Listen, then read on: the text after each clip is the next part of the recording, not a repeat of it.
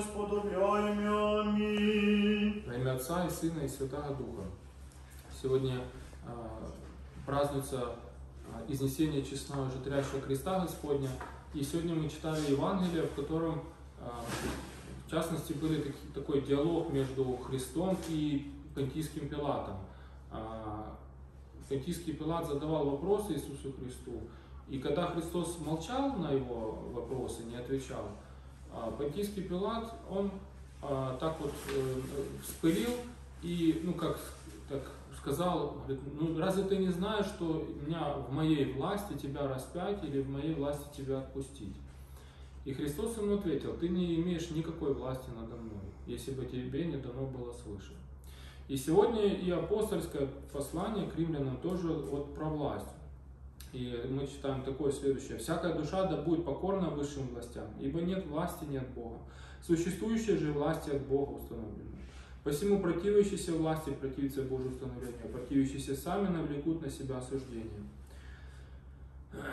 Ну и там рассказывается, что начальник Божий слуга и так дальше. И вот, э, знаете, слово «власть» само, э, оно вот, я знаю на английском, насколько я помню, оно звучит так, authority. И э, по сути происходит от слова автор, автор, А, корень слова власти как автор, да, и эм, власть действительно принадлежит одному только Богу. И тем не менее, а, хотя она и принадлежит только Богу, сам Христос своим примером показывает, что даже и Он а, подчиняется этой власти божественной. Как человек, Он подчиняется власти божественной. Он был и человек, и Бог. Но Он нам показал пример, а, что истинная власть, она может быть только от Бога.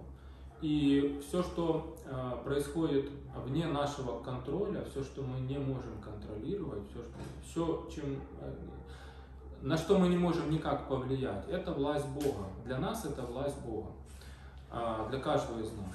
Хотя кажется в этом мире, что некоторые люди имеют власть, но она весьма и весьма условна. И а, дальше апостол интересно а, показывает, что противоположно власти.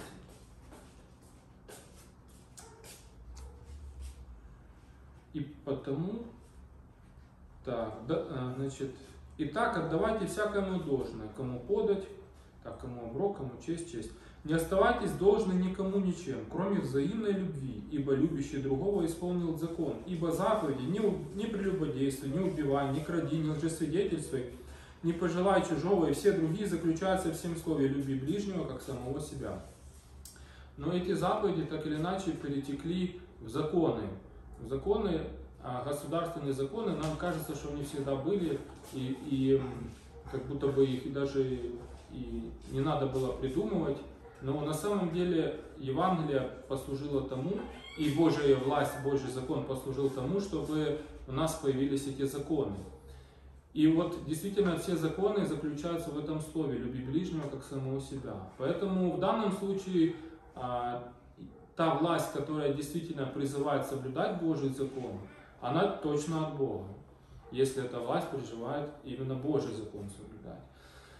А мы видим, что вот не убей, да, там, например, не укради, это все прописано сегодня в наших там, конституционных правах и так дальше, да, там, что вот этого делать можно, это нельзя. Это чисто евангельская норма, потому такая власть, можно сказать, от Бога. Но противоположность власти, здесь ставится любовь. И вот если подумать, то любовь, а, вот какое, знаете, там черное, белое, там, э, не знаю, плохое, хорошее, там, э, я не знаю, какие еще там, теплое, горячее, э, холодное, да. Э, И вот некоторые к слову любовь э, противопоставляют ненависть. Но здесь, вот мне кажется, здесь очень так интересно у апостола идет такая ассоциативная, такая противоположность. Противоположность власти это любовь. Противоположность любви это не ненависть, это власть. И вот э, мы э, в жизни очень э, нам сложно реализовать любовь, прям очень сложно, особенно, наверное, с нашими детьми, особенно когда они ноют и плачут во время проповеди. Вот. Хочется на них какую-то власть проявить, понимаете? Хочется их прижать, зажать, где-нибудь там поставить им какие-то рамки, ограниченность. И, наверное, в какой-то мере это и хорошо до поры до времени. Но вот уловить этот переход, когда и на них уже нельзя эту власть распространять, а когда, в общем-то, нужно научиться все-таки их любить. И, и как их научиться любить с самого начала, а, как им давать эту свободу, вот там ребенок, знаете, не может там кувыркнуться, у него истерика, что он не может кувыркнуться. А, а ты даешь ему шанс э, ошибиться. Позже ты ему даешь шанс согрешить. А, позже ты даешь своим шанс родственникам как-то ошибки делать. Вот намного легче и намного, нам кажется, безопаснее контролировать все вокруг, проявляя свою власть. А, это можно делать а, очень разными способами. Это можно делать и через агрессию можно власть свою проявлять. А можно и залюбливать человека, делая его должником твоей любви. Таким образом тоже проявляя власть. Можно человека или ребенка, например, максимально так обеспечить, что он никогда от тебя не уйдет. Так ему все, все в ротик еду вкладывать, что он а, будет в твоей власти. А можно угрозами какими-то шантажом его сделать э, в своей власти. Мы все время, каждое мгновение промениваем любовь на власть. Все время. И это во вся, в любых мелочах.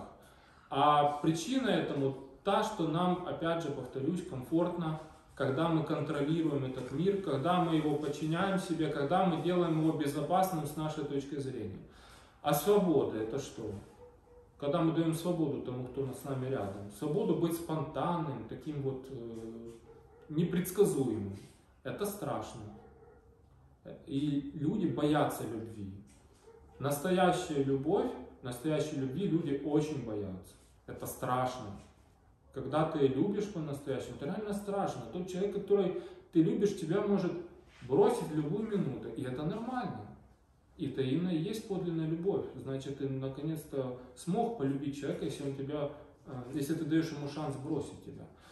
Все дети нас бросят, и это нормально.